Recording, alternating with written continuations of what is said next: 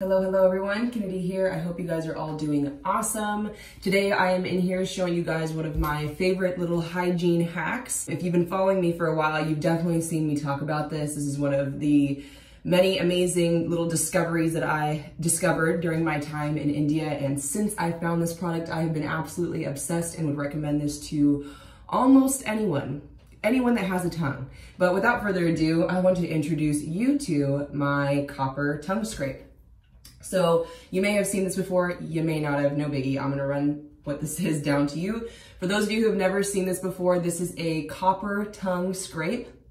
You use it as such. It is made out of 100% copper and is used for the purpose of getting rid of bad breath, removing excess plaque and gunk off of the back of the throat. It also can reduce the amount of bacteria that you have in your mouth that can lead to a bunch of crazy other things like stinky breath. I'm not a dental hygienist, but there's many, many benefits that I will tell, talk about more down below, but in this video specifically, I wanted to talk to you about how to use this if you ever get around to buying a copper tongue scrape. So really quick, I haven't brushed my teeth, quite yet or used my tongue scrape so you could see what it does, but you wanna use this immediately after waking up, before you brush your teeth or after, it doesn't really matter. I like to use it before because bad breath to me is, it's very present in my life, especially in the mornings, and I can barely stand myself. So the first thing I wanna do is get up and remove the bad breath. So this is what you do. Basically, I'm gonna try to talk and do this at the same time. You open your mouth, you see that white at the back of your throat? That's what this will remove and all the other little gunky bacteria you can't really see towards the top of the tongue. So let me stop talking and just show you.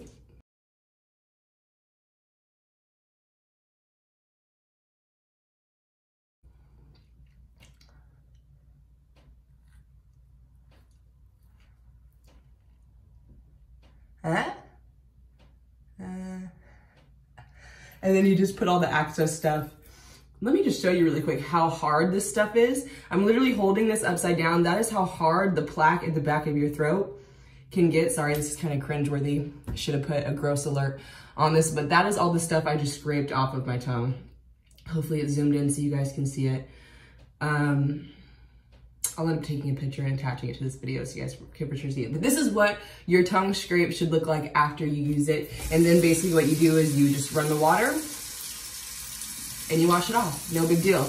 And it's really as simple as that. This is probably one of the easiest oral hygiene tools ever invented on the face of this planet, which is probably why I love it so much because it fits pretty much anywhere. You can like close it and put it in a little suitcase or in your purse or maybe even a wallet, depending on the size of your wallet. Um, but it's very portable. It's very travel friendly if you are a traveler like myself.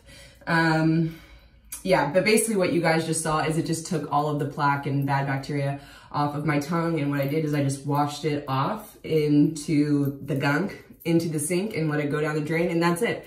And I usually just do like one or two swipes through on my tongue just to make sure everything came off. But once again, not mandatory. Some of you are probably still like toothbrush, tongue brushers.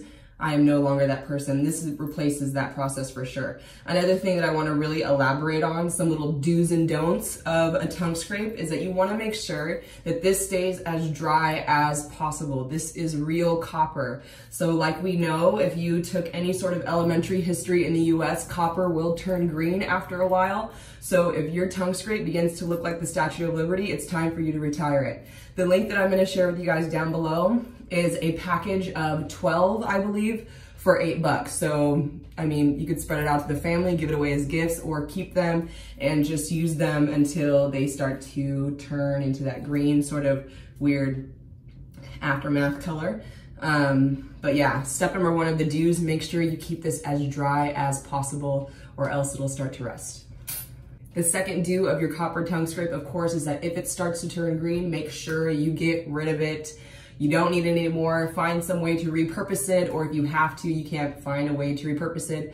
I wish I had something to tell you so that you can use it to repurpose, but use your creative mind to see if you can repurpose this into something you can use around the house. Otherwise, just toss it and move on to the next one. Third thing, use this as much as possible. If you have stinky breath, you need a tongue scrape. Point blank, period. It'll take away the funk in the mouth, no doubt.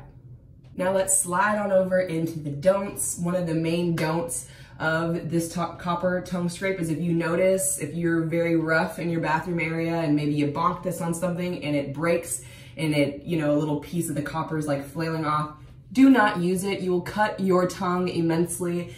And I can only imagine the amount of suffering and pain you will go through after you cut the back of your tongue. So just save yourself the heartache and the actual physical pain and just don't use it.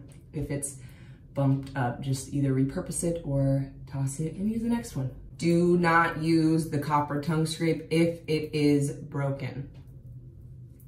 Second don't of the copper tongue scrape, do not scrape too hard. There is definitely a wrong way to do this. As you saw, I did it very gently. I'll do it again. Little to no pressure is required to really do the trick here. Um, if you do begin to do it too hard, you will definitely notice your tongue will start to turn red, like the little blood will almost come up to the surface level of your tongue. If you do scrape too hard, you will actually begin to bleed. So take it easy. This does not require a lot of strength. It just requires a very light glide over the entire tongue. So treat yourself with care and act accordingly. Be gentle. It's not that serious. So now you know what this is, how to use it, the do's and don'ts of a copper tongue scrape, and now I'm gonna tell you where to get it. So now live up on my website, yogakennedy.com slash essentials, there are these beautiful copper tongue scrapes, and like I mentioned before, I put the pack on there the pack is $8.99 for 12 tongue scrapes, so this is perfect around gift giving season or for a birthday, Mother's Day, Father's Day it, this is friendly for any age, any body. Everyone can benefit from having a copper tongue scrapes. These are perfect gifts, or if you just want to keep inventory with your top copper tongue scrapes and just use them as they begin to rust, then that is completely up to your discretion. No judgment here. Um, but I have placed the link of these amazing copper tongue scrapes on my website, yogakennedy.com slash essentials. So head there and pick up head over to the Yoga Kennedy website slash essentials and grab yourself some of these amazing contraptions. Yourself and the people around you will thank you. Thank you for joining me for a little life hack video. Until the next one, I am sending you so much peace, love, and harmony. Namaste.